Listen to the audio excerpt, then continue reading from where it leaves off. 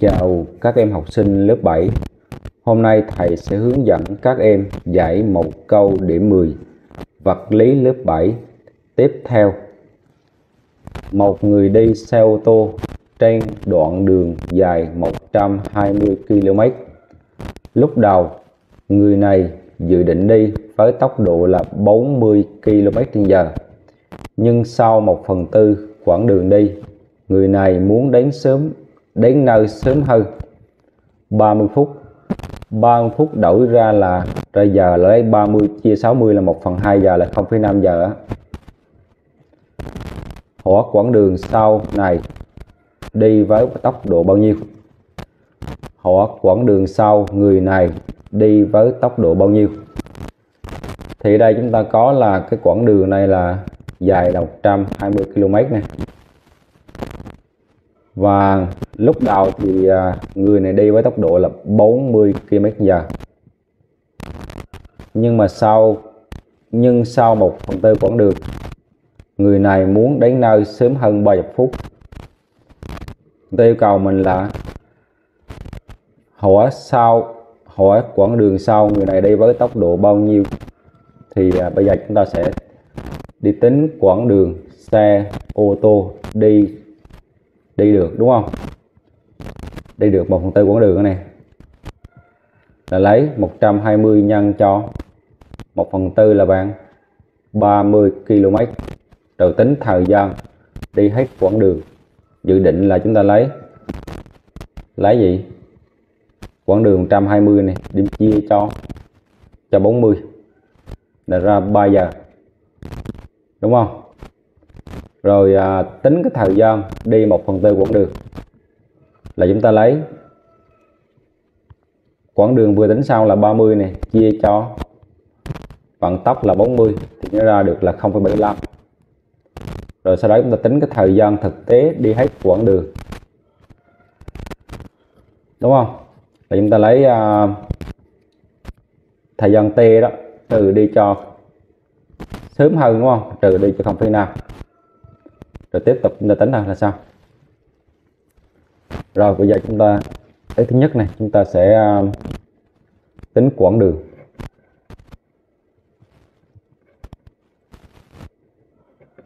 Quãng đường xe ô tô. Quãng đường xe ô tô đi được.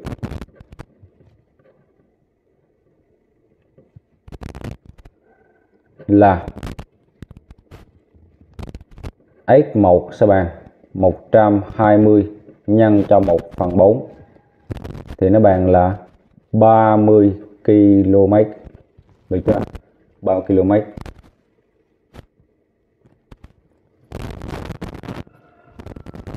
X số 2 là thời gian đi hết quãng đường theo dự định. Thời gian đi hết quãng đường theo dự định. Là gì đây? Chúng ta lấy như là t đi. T sẽ bạn?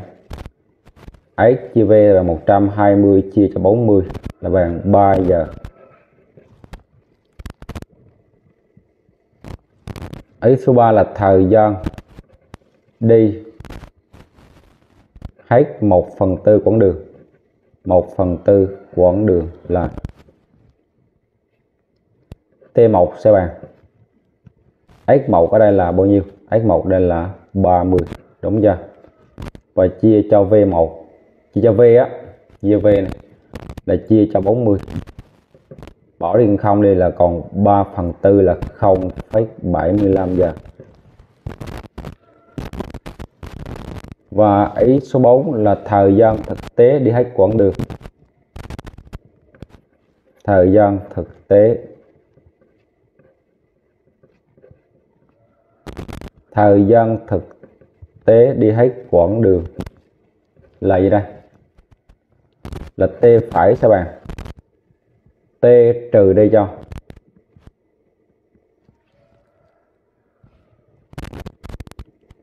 T trừ đi cho 0,5 đúng không? Nè người này muốn đến sớm hơn 30 phút này đó thấy chưa? Thì trừ đi cho 0,5 là bạn. T ở đây là mấy? Là 3 này. 3 giờ đó. Trừ đi 0,5 là còn 2,5 giờ. Rồi tiếp theo là thời gian. Đi đi đoạn đường còn lại. Thời gian. Đi đoạn đường còn lại.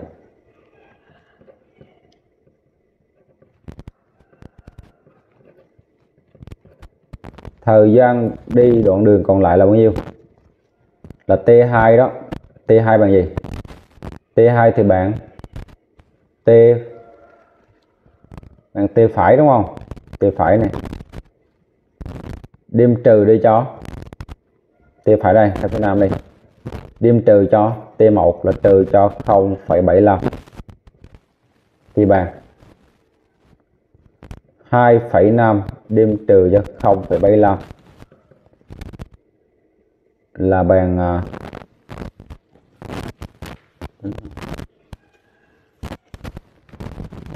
hai phẩy năm này trừ đi cho không phẩy bảy mươi lăm. Thì nó bằng là một phẩy bảy mươi lăm. Bằng một phẩy bảy mươi lăm. Giờ thì quãng đường còn lại người này phải đi với tốc độ sẽ là V2 bạn x2 chia t2 rồi, ý cuối cùng. Đây là câu rất là khó nha. Quãng đường còn lại. Quãng đường còn lại, người này phải đi.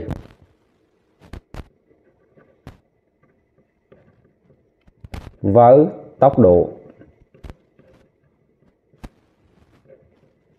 là quãng đường còn lại người này phải đi với tốc độ là nhiêu đây? Là V2 sẽ bằng là X2 chia cho T2 X2 thì bằng quãng đường tổng của mình đó là 120 mà mình đi ở đây là 1 phần tư nè là trừ ra lấy 120 trừ đi X1 là 30 và chia cho thời gian T2 là 1,75 thì nó bằng 120 mà chia cho 30 là còn 90 này chia cho an này đã ra là 51,4 sắp xỉ là 1,4 sắp xỉ là 51,4 km trên giờ. Video bài giảng của thầy đến đây sẽ tạm dừng. Cảm ơn các em đã theo dõi hẹn gặp các em ở video tiếp theo. Chào tạm biệt các em.